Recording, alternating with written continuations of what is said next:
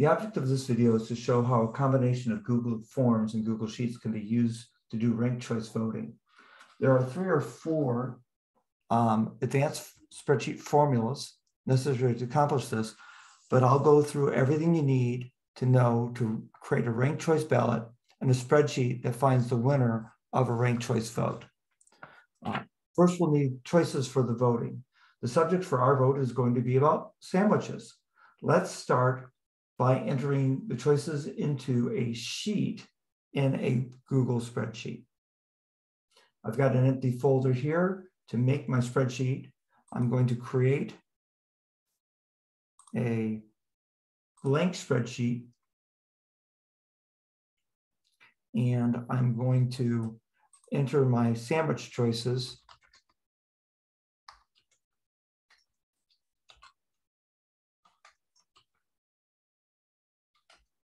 into this spreadsheet. I've got them already typed in. Just going to paste them in. Let's rename this spreadsheet. I'm going to call it one. Now, let's use those same choices in our Google form. Go back to my drive and let's create a new Google form.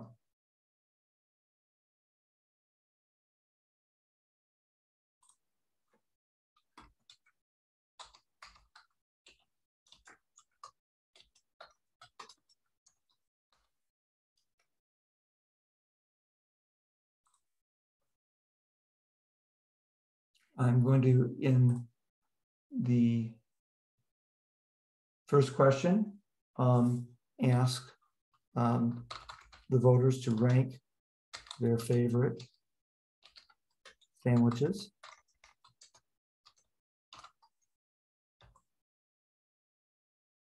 I'm going to choose the multi-choice grid form. I'm going to simply paste in my sandwich choices. And in my columns, I'm going to put in first, second, third, fourth, fifth, and sixth. I am not going to require a response in each row, but I am going to limit one response per column. And I am going to shuffle the row order so no sandwich has an unfair advantage. Now let's choose uh, a sandwich ranking, or sandwich ranks, and then I hit submit. So let me go to the live form. Here's how it looks. Um, I'm going to choose that the Reuben is the best sandwich. Um, and then I like uh, tuna. Oops, sorry, it says not, no, don't select more than one. So tuna is my second choice. Salad is my third. Let's go with the uh, Turkey Club being fourth, ham and Swiss being fifth, and peanut butter and jelly being sixth. And then I submit it. Great, I've now submitted that, but let's take a look at that response. There's the responses, great, but we want those responses to go into our spreadsheet. So let's go ahead and say we're going to, in an existing spreadsheet, put those responses. Okay. That existing spreadsheet is called, I just started called, it's untitled at this point. And you can see it created a new sheet in our, our, um, our sheet. Now, this is only one bit of voting. Um, I have uh, asked this question of a large group of my students. I'll put their answers in as well. So there is their answers. Um, and now let's see what we can do with this. Um, now the problem is in this form, the data is not very useful. We're going to transpose, transpose the data to make it more useful. And to do that, I am going to create a new tab, a new sheet, and I'm going to call that sheet transposed. And in that transposed sheet, I'm going to first get my um, sandwich choices in here. Um, my sandwich choices were in the sheet one and starting in the cell A1. And there's the header sandwich. And then there are our six sandwich choices. Um, in this cell, I'm going to go and I'm going to transpose the data from my form responses, which is all of these columns. And there we have all of our responses, but they're, they're flipped sideways. Now we're going to use this in order to find the rankings of our sandwiches, sandwich names in order. And to do that, we're going to do a nifty little trick with a command called sort. Now in sort, we can say, please sort these sandwich names by the ordering that's listed in that column. Oh, and I need to specify that I want them in ascending order. So there you can see those choices that I had made with the Reuben being first and the peanut butter and jelly being last. Let's do a couple more things here. Uh, for example, uh, let's make sure that we're always sorting the sandwich names. So let's make um, our sandwich references absolute. That will allow me to take this cell, take it over here, and we can see that there is, oh, that's me voting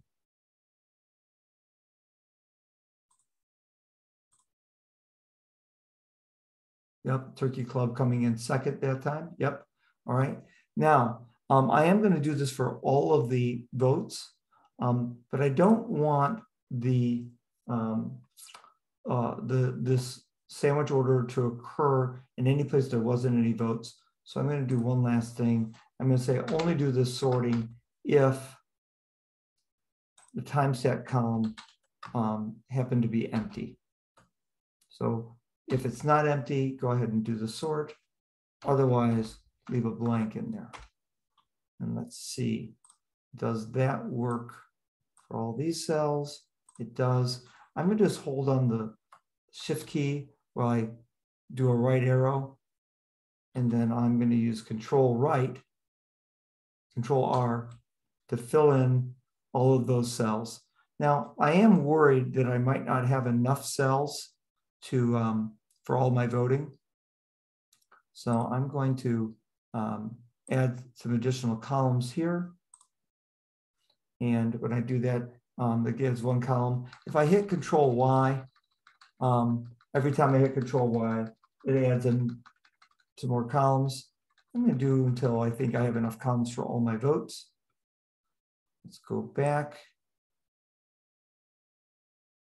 Let's get this formula pasted in all of those columns, all those rows as well. Control R, and we can see that the formula is there as well. Great. So now I've got this data and I can see the sandwich sandwiches in their choice order. I'm going to go back now to my first cells, my first spreadsheet, and it's going to be here where I'm going to um, grab that data and I'm going to transpose it back into something that's um, more useful. Um, I'm going to go and say, please transpose the data that's here. And now what I have in this column are all my first choice votes. And if I wanted to find out which sandwich got the most first choice votes, I could write a little formula here. It's going to be, uh, I'm going to count that only if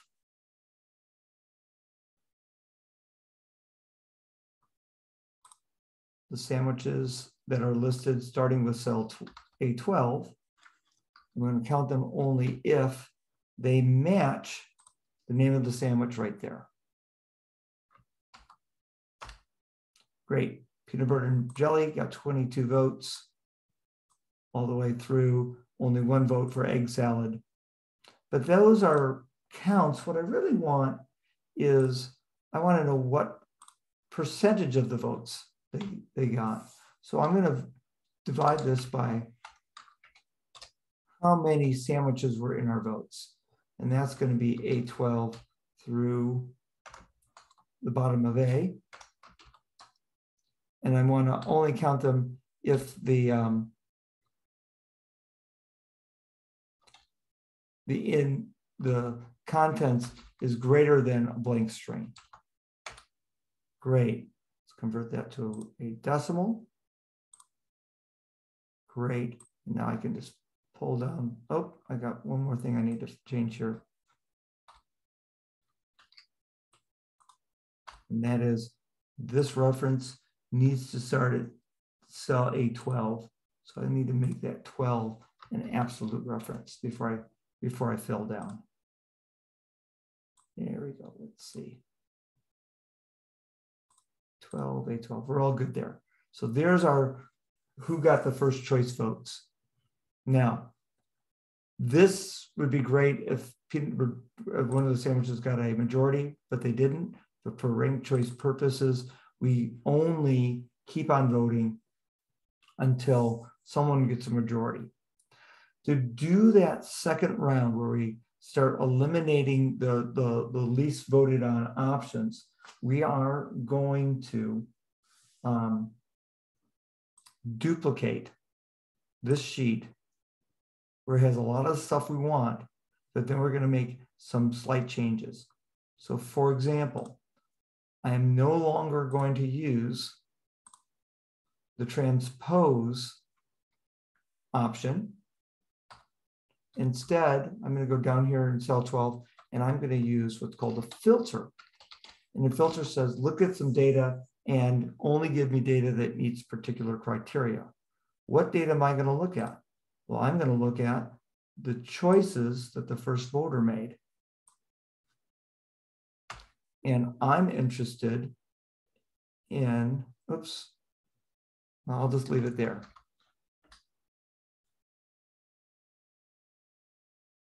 Oh, sorry.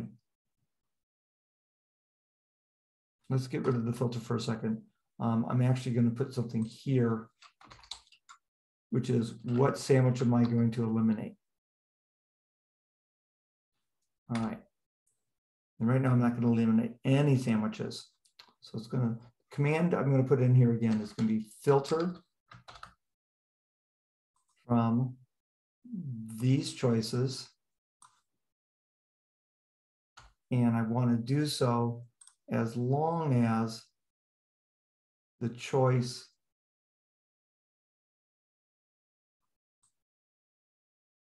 in there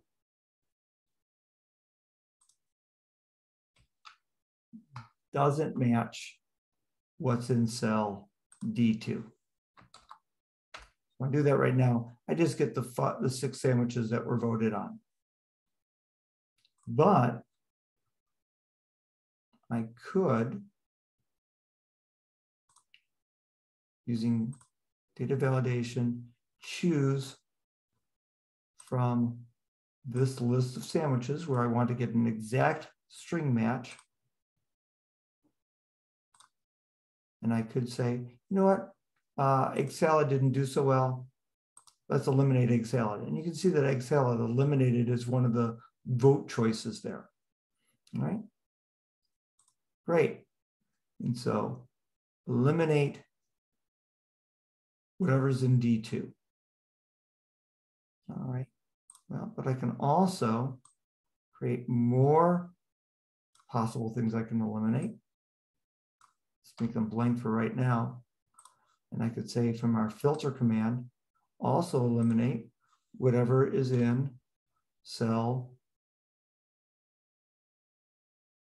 Actually, it's going to be really similar to this. So I'm just going to copy this. eliminate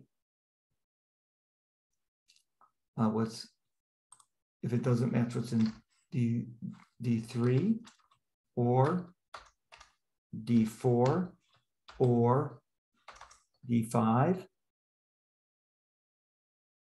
or D6. There we go. So let's just try, try that out. Eliminate the egg salad, eliminate the turkey club. Yep. Eliminate the egg salad. I've already eliminated eliminate egg salad. Eliminate the peanut butter and jelly. Eliminate the ham and Swiss. Yep. Eliminate the tuna salad. Yep. So we can use these commands to eliminate the things that are in that first voting. Well, that's all great, except um, uh, that's only one vote. We want to have this happen for all the votes. So if I pull down on this, I can do the same thing, but I'm sorry, we got to do one more thing. We got to make uh, these references absolute. That when, when we pull down, it will still be looking at that same list of sandwiches to choose which ones to eliminate. There we go. All right, let's try this. Pull this down, see if that works. There's six sandwiches. Let's eliminate the egg salad. And you should see no more egg salads from any of these choices. That's great. And if I eliminate another one, ham and Swiss, you can see all the ham and Swiss go away. So that looks like it's gonna work just fine. Change those back to blanks. Let me go ahead and take this cell. I'm gonna hold down the shift key while doing the page down. I'm gonna fill up this whole column with a fill down. Don't really care about those NAs. And what do we have? We have our ranked choice voting ready to go. Let's see. Egg, egg salad, not enough votes to make it to round two. Eliminate the egg salad. Salad no longer has any first place votes. Does peanut, does anyone have a majority? Nope. So let's eliminate tuna salad. Tuna salad goes away. Does anyone have all a majority yet? No, peanut butter jelly, getting close, but not a majority yet. Let's eliminate again the last, the, the sandwich in last place, the Reuben. And still not a majority. Let's go ahead and eliminate ham and Swiss. And there we have it. Peter butter and jelly now has a majority of the votes. It is our favorite sandwich based on this ranked choice voting. I hope you found uh, this function, uh, this video uh, helpful. Uh, please note there are limitations. For example, the Google form really can't handle more than eight choices without having to scroll. And again, if you have more than a thousand votes, um, you really need to make sure that you increase your spreadsheets to accommodate all, all the different votes.